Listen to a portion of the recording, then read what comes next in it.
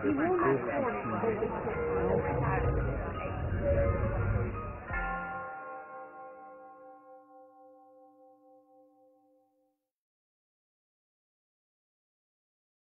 going to be talking today, um, as Ed says, about some work that I've been doing editing letters, some letters by John, Jonathan Swift, some love letters that he wrote to two women in Dublin.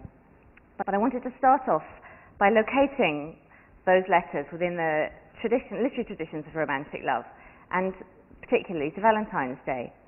And I was thinking about Valentine's Day and what it means and the conventions around it, and it seems to me that one of the funny things about Valentine's Day is that we think it's a day on which we declare ourselves in the most kind of straightforward, open, and self proclaiming way to the object of our affection. But it's not all about self declaration because it's partly about hiding yourself, it's half, partly about keeping something back, which is obviously your identity. We sign these Valentine's cards with a question mark, typically. Um, so I, going, I, want to talk a bit about that, about the idea of secrecy and anonymity that's traditionally associated with declarations of romantic love. And I also want to talk about another feature of Valentine's Day, which is cliche, which is the problem of trying to say I love you in a different way from all the other millions of people who've said it throughout the course of time.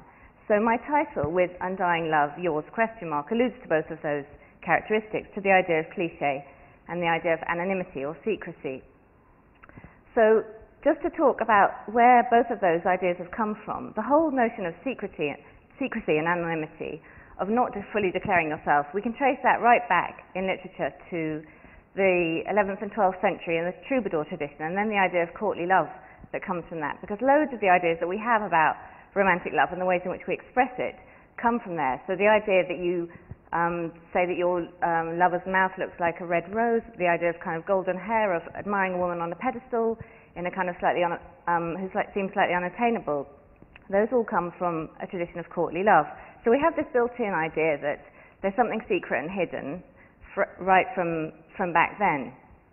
And then the other thing, this idea of cliche, or the idea that you're it's difficult to get away from expressing yourself through second-hand sentiments, through other people's words. That also has a long literary history.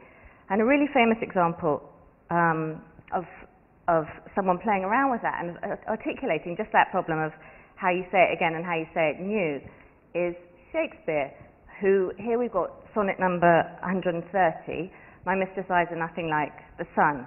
And this is a poem which is all about how you do it differently, how you make your words different from everybody else's words. So he's saying, My mistress' eyes are nothing like the sun. Coral is far more red than her lips red. If snow be white, why then her breasts are dun. If hairs be wires, black wires grow on her head. And he runs through all these comparisons and says, you know, all this stuff, they don't really apply to you. You're not quite like that. And then at the end he says, and yet by heaven, I think my love as rare as any she belied with false compare. So he's talking about the idea of false comparison. He's talking about the idea that the fact that all these other people have, have said these things, but actually um, it doesn't matter that they, they use those hackneyed phrases, but he really loves this woman. She is absolutely fantastic. And it, the fact that she doesn't measure up to those kinds of cliches doesn't matter. So this establishes, I think, it gives us a really good example of of a kind of interest in the problems of how to say it in a different way, how not to use other men's words. So we can see we've got these two ideas about cliche and about anonymity. And at the moment, I'm working on some letters by Jonathan Swift. I'm editing them for um, a new edition by Cambridge University Press. And these letters, just to set the scene, these letters are a series of 65 letters that Swift writes to two women who are living in Dublin at the beginning of the 18th century. And they're called, oh, I've got some pictures, hang on, I mustn't forget that. Picture of Jonathan Swift there. Um, and this is a picture of the two women that he's writing to. So Esther Johnson, we can see. And then poor old Rebecca Dingley hasn't got her picture surviving, but I think she'd be quite pleased with this, with the silhouette I've given her. So there's Swift, and he's writing to Esther Johnson and to Rebecca Dingley. Um, and the letters are really interesting. They're a mix of things. They're a combination of high politics, of what he's had for lunch, who he's seen, who he's played cards with.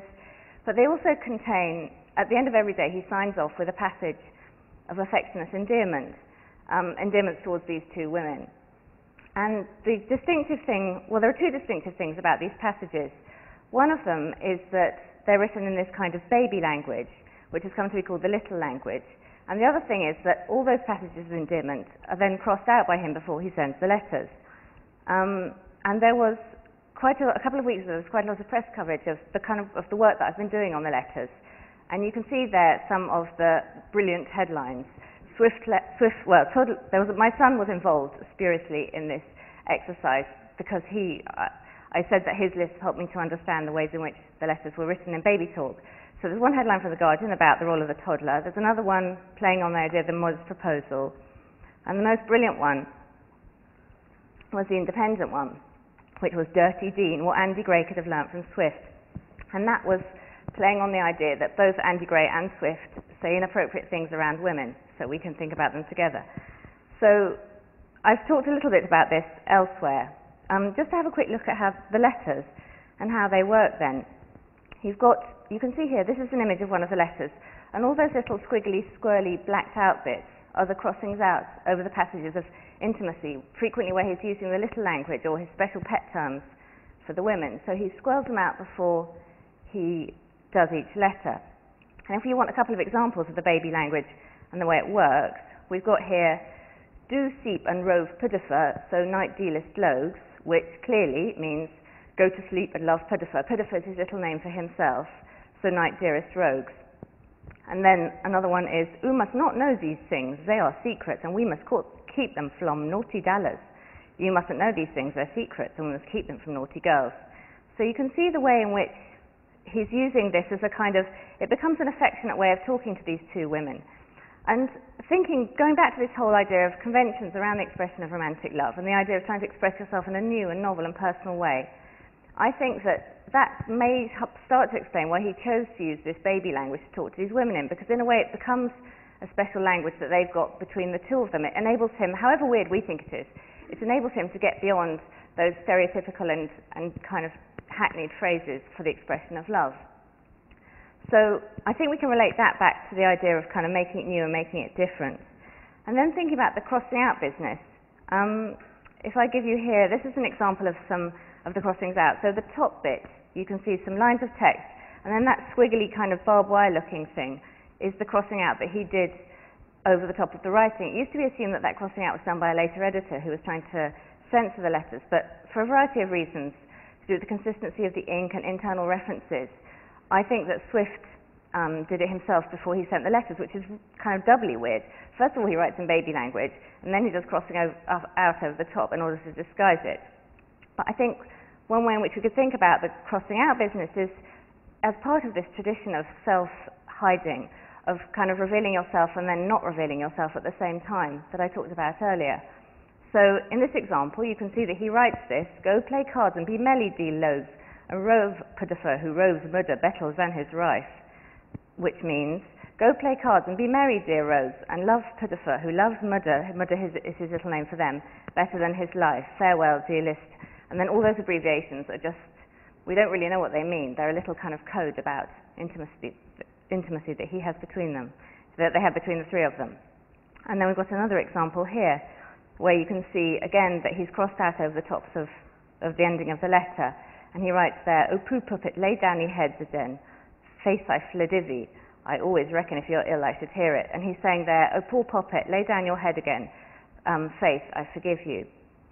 Um, so you can see here that this is a way of, you know, he says these he says these affectionate things and then he kind of unsays them at the same time. And I guess what what the kinds of things that I've been talking about, about traditions of expressing yourself in romantic love, can help us to understand why one historical person might use these material things, pen and ink, and the words on particular individual historical letters that he sent to two people, how we might put that back into a longer history of how people have struggled to express themselves or struggle to express concepts of romantic love or express their feelings for someone else and to make sense of it.